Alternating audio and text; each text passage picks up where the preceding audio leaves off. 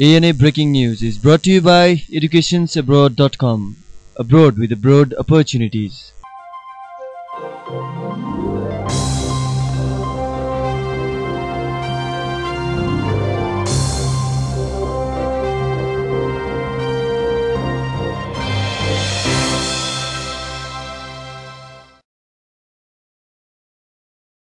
केही महिना अगाडि मधेसी जनाधिकार फोरमबाट विभाजित भई बनेको मधेसी जनाधिकार फोरम भाग्यनाथ गुप्ता समूहले सरकारले आगामी चैत्र अठाइस गते निर्वाचन मिति तोकेमा उक्त चुनावमा भाग पनि नलिने र चुनाव पनि हुन नदिने बताएको छ। सो समूहको हिजो वीरगञ्जमा सम्पन्न बैठकका निर्णयहरूबारे जानकारी दिँदै समूहका अध्यक्ष भाग्यनाथ गुप्ताले अहिलेकै समयमा चुनाव हुन नसक्ने दावी गर्दै त्यसको विरोधमा मागदेखि सशक्त आन्दोलन गर्ने चेतावनी समेत दिनुभयो।